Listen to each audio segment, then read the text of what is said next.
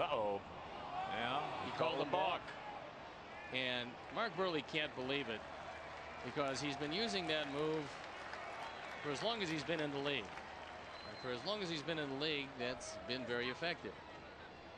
This time, Joe West on the job. Watch it again. I'm having a hard time seeing where that's a balk. Now Joe's going to give him some argument because Mark's saying, why do you do?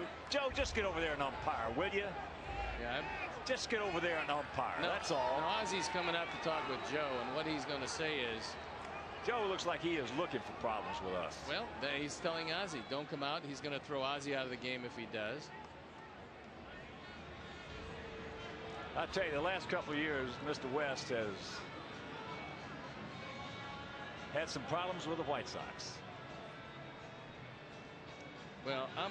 And then he's telling Ozzie to get, you, you know, he's, you knew he's- that he was going to throw him he's, out he's a joke. He's becoming a joke is what he's doing. He's becoming a joke to the umpiring profession. Well, Mark Buehrle has been using that same move since he's been in his league. I've taken a look at that move for quite some time. I also have many years in the league and more years, I believe, as Joe West. Uh, Joe. And that was not a balk. Joe is uh, it's getting to be that time, I think, for Mr. Joe West.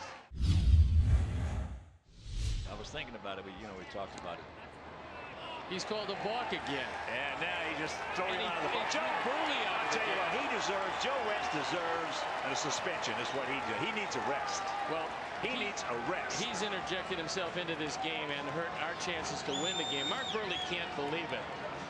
I'll tell you what, Mark Buehrle, Mark Buehrle is one of Joe West just wanted to stick it right up his behind, and he did. He he should be suspended. That is that is a flat out absolute disgrace to the umpiring profession what this guy has been doing.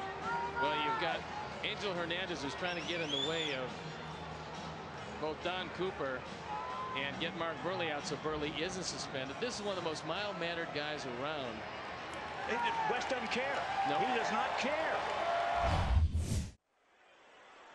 Another throw to first, and it's called for a balk again. Oh, that's ridiculous. Buehrle just got tossed. Uh, Joe West, seriously. I mean, he- ta- threw his glove on the ground, and he threw him out for throwing his equipment. Been there. I mean, that's no, that's bad. Joe West has obviously got it out for Mark Buehrle. That wasn't a balk.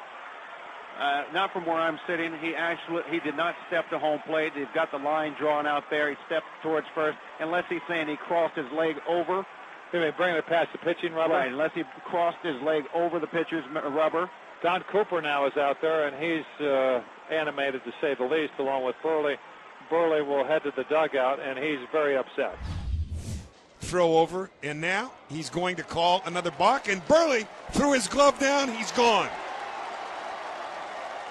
He called another balk, and Buehrle walked on the off the mound in disgust, threw his glove down, and Joe West has just ejected Mark Buehrle from the ball game, and he has walked behind first base down the line on the grass with his arms folded in front of him, saying to Buehrle, Come on over. Boy, you just knew, you had the feeling that if there was another one that was going to be close, that Joe West was going to call a balk, and that he did. And it's always been Joe West's personality. But the bottom line is whether you agree with the call or not, Mike, Mark Buehrle caught a break when he wasn't ejected last inning, and Ozzie Guillen took the bullet for him.